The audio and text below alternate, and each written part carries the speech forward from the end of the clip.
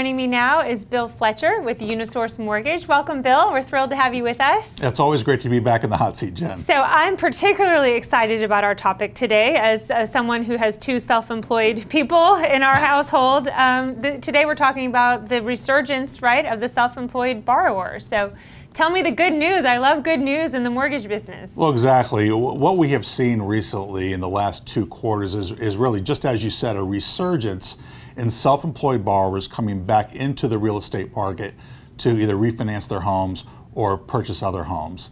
And uh, we see quite a lot of diversity, whether they're, they're young, they're old. You know, the, uh, the, the, recession hit a lot of people. Yes. Uh, but it didn't hit anyone more than the self-employed borrower, those small businesses that are really the backbone mm-hmm. of our community. So it's been nice to see that resurgence come about uh, for a number of reasons.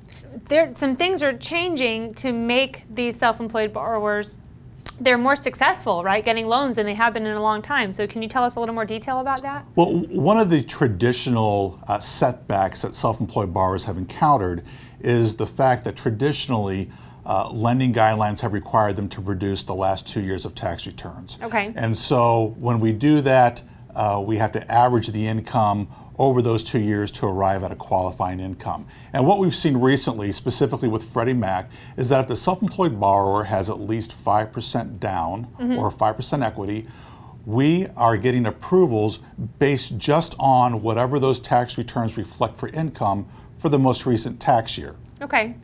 And that's been that's been a huge thing for borrowers, obviously, uh, oh, yeah. who, who may just be in it or been in their business for a few years where well, maybe when you have a young business yeah you're not going to roll out of the gate usually showing a ton of income the first year especially if your accountant's any good. The whole point is not to show so much income but um, yeah that two year average has taken down many a, a deal in the past so that's good news. Now as a self-employed person and with a family of two self-employed people what, is there anything that we can do to increase our qualified income? You know, if we're looking to talk to our accountant and say, okay, you know, we want to show more income this year to buy a house, are there any tricks or things that we can do to do that?